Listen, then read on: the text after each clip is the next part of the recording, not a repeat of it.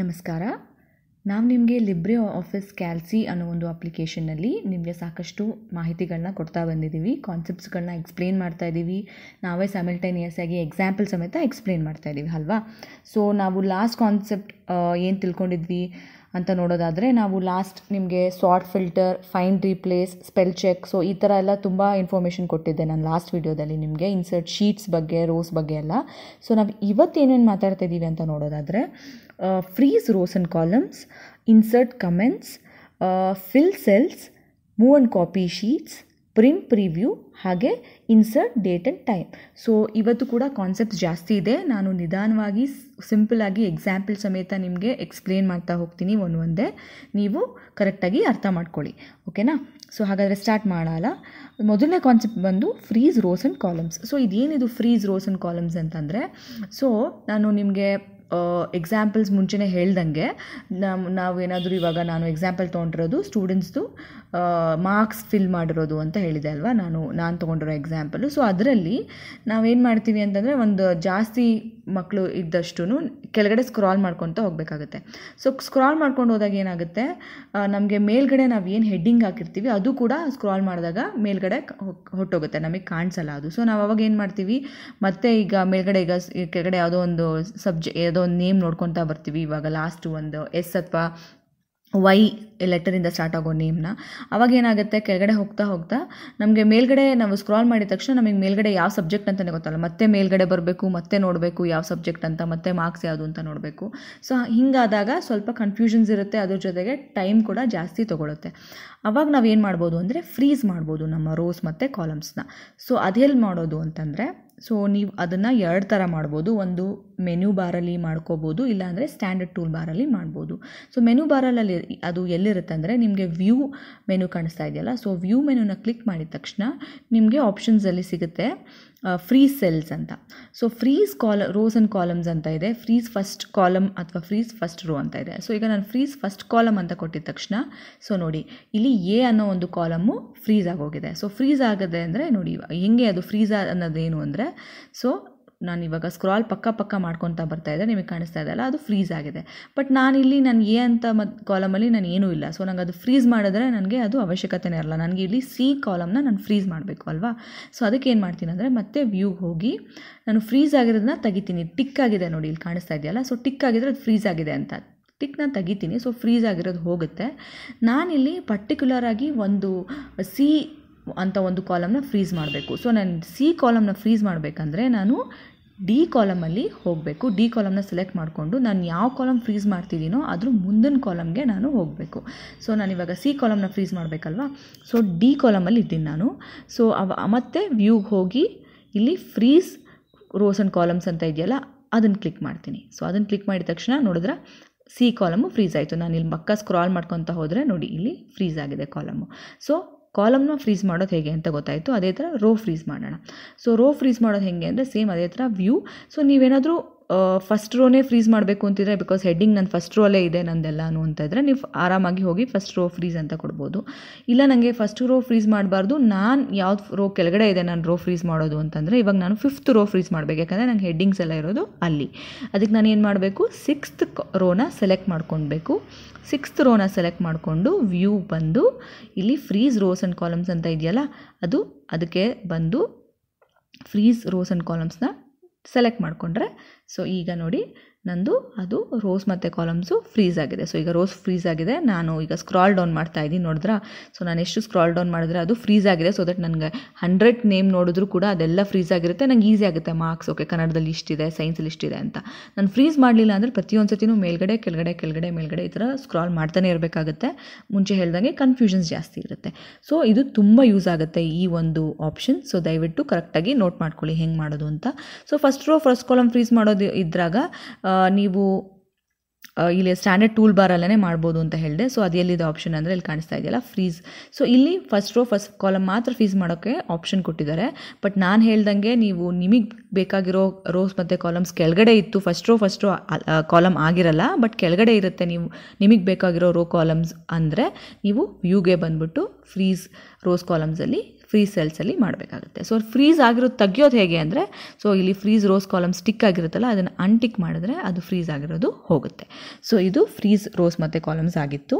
So next concept ಬಂದು insert comments so ಏನಿದು insert comments ಅಂತಂದರೆ ಇವಾಗ ಯಾವುದೋ ಒಂದು ಪರ್ಟಿಕ್ಯುಲರ್ ಒಂದು ಹುಡುಗ ಅಥವಾ ಹುಡುಗಿದು ಸ್ವಲ್ಪ ಏನೋ ಡೌಟ್ಸ್ ಇರುತ್ತೆ ಮಾರ್ಕ್ಸಲ್ಲಿ ಅಥವಾ ಬೇರೆ ಏನೋ ಒಂದು ಇನ್ಫಾರ್ಮೇಷನ್ ಆ ಪರ್ಟಿಕ್ಯುಲರ್ ಹುಡುಗಂಗೆ ಅಥವಾ ಹುಡುಗಿಗೆ ಹಾಕೋಬೇಕಾಗುತ್ತೆ.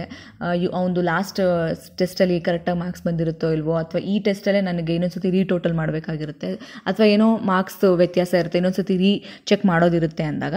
ಸೊ ಇವಾಗ ನಾನು ಅದನ್ನು ಯಾವುದೋ ಒಂದು ಈಗ ಬಿ ಅಂತ ಅಂದ್ಕೊಳ್ಳೋಣ ಸೊ ಈ ಬಿ ಅನ್ನೋ ಒಂದು ನೇಮಲ್ಲಿ ನಾನು ಏನೋ ಕಮೆಂಟ್ ಇನ್ಸರ್ಟ್ ಮಾಡಬೇಕಾಗಿರುತ್ತೆ. ಸೊ ಅದು ಸೊ ಆವಾಗ ನಾನು ಏನು ಮಾಡ್ತೀನಿ ಅಂದರೆ ಇಲ್ಲಿ ಇನ್ಸರ್ಟ್ ಕಮೆಂಟ್ ಕಾಣಿಸ್ತಾ ಇದೆಯಲ್ಲ ಇದು ಇನ್ಸರ್ಟ್ ಕಮೆಂಟ್ ಅಂತ ಸ್ಟ್ಯಾಂಡರ್ಡ್ ಟೂಲ್ ಬಾ ಟೂಲ್ ಬಾರಲ್ಲಿ ಸೊ ನೀವು ಅದನ್ನು ಅದಕ್ಕೆ ಶಾರ್ಟ್ಕಟ್ ಕೂಡ ಇದೆ. Control plus alt plus C ಆ ಥರನೂ ಮಾಡ್ಬೋದು ಕೀಬೋರ್ಡಲ್ಲಿ ಇಲ್ಲಾಂದರೆ ನೀವು ಸ್ಟ್ಯಾಂಡರ್ಡ್ ಟೂಲ್ ಬಾರಲ್ಲಿ ಇಲ್ಲಿ ಇನ್ಸರ್ಟ್ ಕಮೆಂಟ್ನ ಕ್ಲಿಕ್ ಮಾಡಿದ ತಕ್ಷಣ ಇಲ್ಲಿ ಕಾಣಿಸ್ತಾ ಇದೆಯಲ್ಲ ಸೊ ಇಲ್ಲಿ ನಿಮ್ಗೆ ಏನು ಮಾಡ್ಕೋಬೇಕು? ಸೊ ನಾನು ರೀಟೋಟಲ್ ಮಾಡಬೇಕು ಅಥವಾ ರೀಕರೆಕ್ಷನ್ ಮಾಡಬೇಕು ಅಂತ ಏನೋ ಇರುತ್ತೆ. ಸೊ ರೀಕರೆಕ್ಷನ್ ಅಂತ ಹಾಕ್ಕೊಂಡು ನಾನು ಕಮೆಂಟ್ ಇನ್ಸರ್ಟ್ ಮಾಡ್ತೀನಿ. ಸೊ ಇನ್ಸರ್ಟ್ ಆದಮೇಲೆ ಅದು ನಮಗೆ ನಮ್ಮ ಟೇಬಲಲ್ಲಿ ಈ ಥರ ರೆಡ್ ಕಲರಲ್ಲೇ ತೋರಿಸುತ್ತೆ. ಸೊ ಈ ಥರ ನೀವು ಜಸ್ಟ್ ಅಲ್ಲಿಗೆ ಬಂದು ನಮ್ಮ ಪಾಯಿಂಟರ್ ಇಟ್ಟಿದ ತಕ್ಷಣ ಕ್ಲಿಕ್ ಮಾಡೋದೇ ಬೇಡ.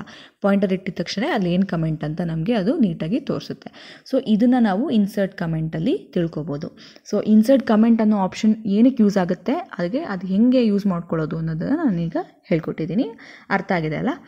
ಸೊ ನೆಕ್ಸ್ಟ್ ಕಾನ್ಸೆಪ್ಟ್ ಬಂದು ಫಿಲ್ ಸೆಲ್ಸ್ ಸೊ ಈ ಫಿಲ್ ಸೆಲ್ಸ್ ಅಂದರೆ ಏನು ಅಂತ ಈಗ ನೋಡೋಣ. ಸೊ ಈ ಫಿಲ್ ಸೆಲ್ಸ್ ಅಂತಂದರೆ, ಆ ಹೆಸರೇ ಹೇಳ್ದಂಗೆ, ಈಗ ನಾನು ನಾನು ಒಂದು ಪರ್ಟಿಕ್ಯುಲರ್ ಸೆಲ್ಲಲ್ಲಿ ಇರ್ತೀನಿ. ನನಗೆ ಕೆಳಗಡೆ ಸೆಲ್ಗೂ ಅದೇ ಡೇಟಾನ ಎಂಟ್ರಿ ಮಾಡಬೇಕು. ಪಕ್ಕದ ಸೆಲ್ಗೂ ಅದೇ ಡೇಟಾ ಎಂಟ್ರಿ ಮಾಡಬೇಕು. ಮೇಲ್ಗಡೆ ಸೆಲ್ಗೂ ಅದೇ ಡೇಟಾ ಎಂಟ್ರಿ ಮಾಡಬೇಕು ಅಂತ ಇದ್ದಾಗ. ಸೊ ಅವಾಗ ನಾನು ಏನು ಮಾಡ್ತೀನಿ ಅಂತಂದರೆ, ಈ ಫಿಲ್ ಸೆಲ್ಸ್ ಆಪ್ಷನ್ ಆಪ್ಷನ್ನ ಯೂಸ್ ಮಾಡ್ಕೊತೀನಿ. ಸೊ ಅದು ಎಲ್ಲಿದೆ ಅಂತಂದರೆ ಫಿಲ್ ಸೆಲ್ಸ್ ಶೀಟ್ಸ್ ಅನ್ನೋ ಒಂದು ಮೆನು ಬಾರಲ್ಲಿ ಹೋದರೆ ಇಲ್ಲಿ ನಿಮಗೆ ಕಾಣಿಸ್ತಾ ಇದೆಯಲ್ಲ fill cells so up down right left ಅಂತೆಲ್ಲ ಇದೆ. ಸೊ ಈಗ ಫಿಲ್ ಸೆಲ್ಸ್ ಹೆಂಗೆ ವರ್ಕ್ ಆಗುತ್ತೆ ಅನ್ನೋದನ್ನು ನೋಡೋಣ. ಸೊ ಇಲ್ಲಿ ಲಾಸ್ಟ್ ನನಗೆ ಇವಾಗ ಇ ಅಂತ ಇದೆ ಅಲ್ವಾ ನೇಮ್ ಸೊ ಈ ಇ ಅಂತ ಇರೋ ನೇಮ್ನ ನಾನು ಈ ಕೆಳಗಡೆನೂ ಕೂಡ ನನಗೆ ಅದೇ ನೇಮ್ ಬೇಕಾಗುತ್ತೆ. ಸೊ ಅದೇ ನೇಮೇ ಬೇಕಿರುತ್ತೆ ಅಂದಾಗ ನಾನು ಕೆಳಗಡೆ ಎಲ್ಲಿ ಫಿಲ್ ಮಾಡಬೇಕು ಆ ಒಂದು ಸೆಲ್ಲಿಗೆ ಬರ್ತೀನಿ. ಬಂದ್ಬಿಟ್ಟು ಇಲ್ಲಿ ಶೀಟ್ ಅನ್ನೋ ಒಂದು ಮೆನ್ಯೂಲಿ ಫಿಲ್ ಸೆಲ್ಸಲ್ಲಿ ಹೋಗ್ಬಿಟ್ಟು ನಾನು ಡೌನ್ ಅಂತ ಕೊಡ್ತೀನಿ. ಸೊ ನಾನು ಡೌನ್ ಅಂತ ಕೊಟ್ಟಿದ ತಕ್ಷಣ ನನಗೆ ಆ ಒಂದು ಪರ್ಟಿಕ್ಯುಲರ್ ಸೆಲ್ಲಿಗೆ ಬಂದು ಅದು ಅದು ಬರೀ ನಿಮಗೆ ಒಂದು ಏನು ಟೆಕ್ಸ್ಟ್ ಅಥವಾ ಏನು ಡೇಟಾ ಎಂಟ್ರಿ ಆಗಿರುತ್ತೆ ಅದನ್ನು ಮಾತ್ರ ಫಿಲ್ ಸೆಲ್ ಮಾಡಲ್ಲ. ಅದ್ರ ಜೊತೆಗೆ ಫಾರ್ಮ್ಯಾಟ್ ಕೂಡ ಅದೇ ಥರ ಆಗುತ್ತೆ. ಸೊ ಅದೇ ಥರ ಅಂತಂದರೆ ನೀವು ಕಲರ್ ಹಾಕಿದ್ರೆ background colour text colour borders ಇದೆಲ್ಲ ಫಾರ್ಮ್ಯಾಟಿಂಗ್ ಕೂಡ ಅದು ಅದೇ ಥರನೇ ತೊಗೊಳುತ್ತೆ ಫಿಲ್ ಸೆಲ್ಸಲ್ಲಿ ಸೊ ಹಾಗಾಗಿ ನಾವು ಈ ಆಪ್ಷನ್ಸ ಯೂಸ್ ಮಾಡ್ಕೊತೀವಿ. ಸೊ ದಟ್ ನಮಗೆ ಮತ್ತೆ ಮತ್ತೆ ಕಲರ್ ಹಾಕು ಬಾರ್ಡ್ರ್ ಹಾಕು, ಇದು ಇದೆಲ್ಲ ಮತ್ತೆ ಕೆಳಗಡೆ ಸೆಲ್ಸ್ಗೂ ಮಾಡೋ ಅವಶ್ಯಕತೆನೇ ಇರಲ್ಲ. ಸೊ ಇದು ನಾವು ಫಿಲ್ ಸೆಲ್ಸ್ ಯೂಸ್ ಮಾಡ್ಕೊತೀವಿ. ಇವಾಗ ನಾನು ಇವಾಗ ಅದನ್ನೇ ಪಕ್ಕಕ್ಕೆ ಬೇಕು ಅಂದ್ಕೊಂಡ್ರೆ ನಾನು ಎಲ್ಲಿ ಇರ್ತೀನಿ, ನನಗೆ ಯಾವ ಸೆಲ್ಗೆ ಫಿಲ್ ಆಗಬೇಕೋ ಅಲ್ಲಿಗೆ ನಾನು ಆ ಸೆಲ್ಗೆ ಹೋಗ್ಬಿಟ್ಟು ಶೀಟಲ್ಲಿ ನಾನು ಫಿಲ್ ಸೆಲ್ಸ್ಗೆ ಹೋಗ್ಬಿಟ್ಟು ನಾನು ರೈಟ್ ಅಂತ ಕೊಡ್ತೀನಿ. ಸೊ ರೈಟ್ ಅಂತ ಕೊಟ್ಟಿದ ತಕ್ಷಣ ನನಗೆ ರೈಟ್ ಕೂಡ ನನಗೆ ಏನು ಫಿಲ್ ಆಗಬೇಕಿತ್ತು ಈ ಅಂತ ಅದು ಅಲ್ಲಿಗೆ ಬಂದು ಫಿಲ್ ಆಗುತ್ತೆ. ಸೊ ನೀವು ಎಲ್ಲಿಗೆ ಯಾವ ಸೆಲ್ಲಲ್ಲಿ ಫಿಲ್ ಆಗಬೇಕು ಅನ್ನೋದನ್ನ ಫಸ್ಟು ಸೆಲೆಕ್ಟ್ ಮಾಡ್ಕೋಬೇಕು. ಸೊ ನಾನೀಗ ಲೆಫ್ಟಿಗೆ ಬಂದುಬಿಟ್ಟು ನಾನು ಅಲ್ಲಿ ಸೆಲೆಕ್ಟ್ ಮಾಡ್ಕೊಂಡಿರ್ತೀನಿ. ಅಲ್ಲಿ ಲೆಫ್ಟಿಗೆ ಫಿಲ್ ಅಂತ ಕೊಟ್ಟಿದ ತಕ್ಷಣ ಅದು ಫಿಲ್ ಲೆಫ್ಟಿಗೆ ಸೇಮ್ ನನಗೆ ಲೆಫ್ಟಲ್ಲಿ ಏನಿರುತ್ತೆ ಅದು ಬಂದು ಫಿಲ್ ಆಗುತ್ತೆ. ಅದೇ ಥರ ಮೇಲ್ಗಡೆ ಏನಿರುತ್ತೆ ಅದು ಕೆಳಗಡೆ ಬಂದು ಫಿಲ್ ಆಗುತ್ತೆ. ಸೊ ಈಗ ಅರ್ಥ ಆಗಿದೆ ಅಲ್ಲ ನಿಮಗೆ? ಫಿಲ್ ಸೆಲ್ಸ್ ಅಂತ ಒಂದು ಕಾನ್ಸೆಪ್ಟ್ ಫಿಲ್ ಸೆಲ್ಸ್ ಅಂತಂದರೆ ನಮಗೆ ಮೇಲ್ಗಡೆ, ಅಕ್ಕಪಕ್ಕ, ಕೆಳಗಡೆ ಈ ಥರ ಎಲ್ಲ ಏನೇನು ಮೇಲ್ಗಡೆ ಇರೋದೇ ಕೆಳಗಡೆಗೂ ಬೇಕು ಅಂದಾಗ ನಾವು ಪದೇ ಪದೇ ಅದನ್ನೇ ಕಾಪಿ ಪೇಸ್ಟ್ ಮಾಡೋದಕ್ಕಿಂತ ಈ ಥರ ಫಿಲ್ ಸೆಲ್ಸ್ ಅಂತ ಒಟ್ಟಿಗೆ ಕೊಟ್ಟರೆ ವಿತ್ ಫಾರ್ಮ್ಯಾಟ್ ಸಮೇತ ಅದು ನಮಗೆ ಬಂದು ಫಿಲ್ ಆಗುತ್ತೆ. ನಮಗೆ ನಾವು ಎಲ್ಲಿ ಹೇಳ್ತೀವೋ ಆ ಸೆಲ್ಗೆ ಸೊ ಇದು ನಿಮ್ಗೆ ಅರ್ಥ ಆಗಿದೆ. ನಿಮಗೆ ಮೇಲ್ಗಡೆ ಬೇಕಂದರೆ ಅಪ್ ಕೊಡಿ, ಕೆಳಗಡೆ ಬೇಕಂದರೆ ಡೌನ್ ಕೊಡಿ ರೈಟ್ ಬೇಕಂದರೆ ರೈಟ್ ಲೆಫ್ಟ್ ಬೇಕಂದರೆ ಲೆಫ್ಟ್ ಸೊ ಇದು ಫಿಲ್ ಸೆಲ್ಸ್ದು ನಿಮಗೆ ಕಾನ್ಸೆಪ್ಟ್ ಆಗಿತ್ತು. ಸೊ ಇದಾದಮೇಲೆ ನೆಕ್ಸ್ಟ್ ಕಾನ್ಸೆಪ್ಟ್ ಯಾವುದು ಅಂತ ನೋಡೋಣ. So insert date and time so ಇಲ್ಲಿ ಇನ್ಸರ್ಟ್ ಅನ್ನೋ ಒಂದು ಮೆನುವಲ್ಲಿ ನೀವು ಇನ್ಸರ್ಟ್ ನೀವು ಎಲ್ಲಿ ಹೋಗಿ ನೀವು ಡೇಟ್ ಇನ್ಸರ್ಟ್ ಮಾಡಬೇಕು ಅನ್ನೋದಿದ್ರೆ ಇವಾಗ ಟೆಂತ್ ಮಾರ್ಕ್ಸ್ ಅಂತ ಏನೋ ನಾನು ಹಾಕಿದ್ದೀನಿ. ಸೊ ಆ ಒಂದು ಹೆಡ್ಡಿಂಗ್ ಪಕ್ಕದಲ್ಲಿ ಬರಬೇಕು ಅಂತ ಹೇಳಿದ್ರೆ ಆ ಸೆಲ್ನ ಸೆಲೆಕ್ಟ್ ಮಾಡಿಕೊಂಡು ಇನ್ಸರ್ಟ್ ಡೇಟ್ ಅಂತ ಕೊಟ್ಟಿದ ತಕ್ಷಣ ನೋಡಿ ಡೇಟು ಇನ್ಸರ್ಟ್ ಆಗಿದೆ. ಅದ್ರ ಪಕ್ಕದಲ್ಲಿ ನಾನು ಟೈಮ್ ಇನ್ಸರ್ಟ್ ಮಾಡೋದಿದ್ರೆ ಇನ್ಸರ್ಟ್ ಟೈಮ್ ಅಂತ ಕೊಟ್ಟರೆ ಇನ್ಸರ್ಟ್ ಟೈಮ್ ಇನ್ ಟೈಮ್ ಕೂಡ ಇನ್ಸರ್ಟ್ ಆಗುತ್ತೆ. ಅಂದರೆ ನಾನು ಇದನ್ನು ಯಾವಾಗ ಮಾಡಿದ್ದೆ ಅನ್ನೋದಕ್ಕೆ ಅಥವಾ ಯಾವ ಟೈಮಲ್ಲಿ ಮಾಡಿದ್ದೆ ಅನ್ನೋದಕ್ಕೆ ನಿಮ್ಗೆ ಏನಾದ್ರು ರೆಫರೆನ್ಸ್ ಇಟ್ಕೋಬೇಕು ಅನ್ನೋದಿದ್ದಾಗ ನೀವು ಇನ್ಸರ್ಟ್ ಡೇಟ್ ಆ್ಯಂಡ್ ಟೈಮ್ನ ಈ ಥರ ಮಾಡ್ಕೋಬೋದು.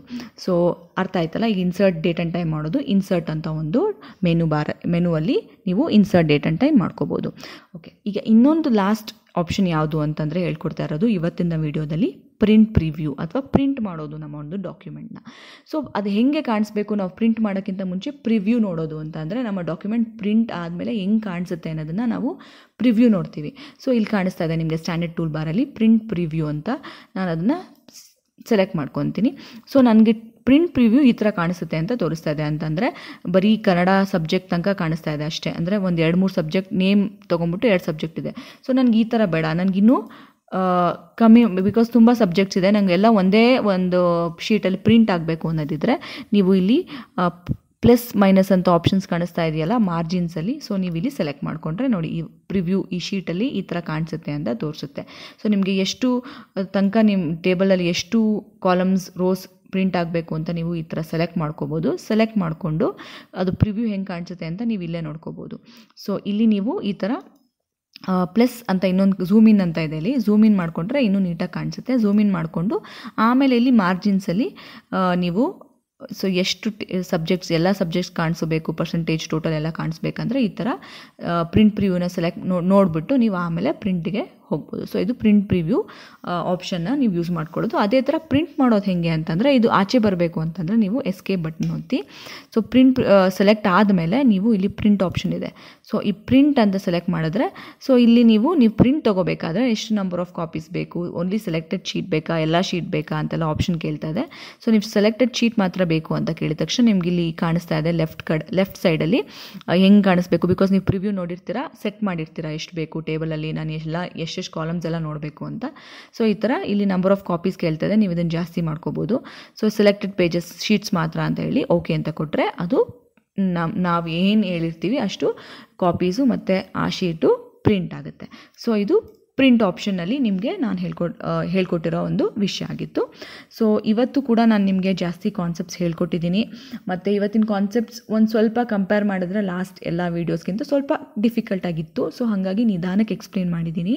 ಇದರಲ್ಲಿ ನಿಮಗೆ ಏನೇ ಡೌಟ್ಸ್ ಇದ್ದರೂ ಏನೇ ಕ್ಲಾರಿಫಿಕೇಷನ್ ಇದ್ದರೂ ದಯವಿಟ್ಟು ನೀವು ನಮ್ಮ ಕಮೆಂಟ್ ಸೆಕ್ಷನಲ್ಲಿ ಕಮೆಂಟ್ ಹಾಕಿ ಒಂದು ಎಲ್ಲ ಇನ್ಫಾರ್ಮೇಷನ್ನ ನಾವು ಸ್ಲೈಡಲ್ಲಿ ಡಿಸ್ಪ್ಲೇ ಮಾಡ್ತಾ ಇದ್ದೀವಿ ನಿಮಗೆ.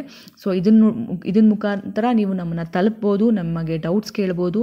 ಹಾಗೆ ಬೇರೆ ಏನೇ ವಿಷಯದ ಬಗ್ಗೆ ಮಾಹಿತಿ ಬೇಕಾದರೂ ನೀವು ನಮ್ಮನ್ನು ಕೇಳ್ಬೋದು. ಸೊ ಇವತ್ತಿನ ಈ ವಿಡಿಯೋ ನಿಮಗೆ ಅರ್ಥ ಆಗಿದೆ ಅಂತ ಅಂದ್ಕೊಂಡು ನಾನು ಈ ವಿಡಿಯೋನ ಇಲ್ಲೇ ಕ್ಲೋಸ್ ಮಾಡ್ತೀನಿ. ಥ್ಯಾಂಕ್ ಯು ವಿಡಿಯೋನ ನೋಡಿದ್ದಕ್ಕೆ.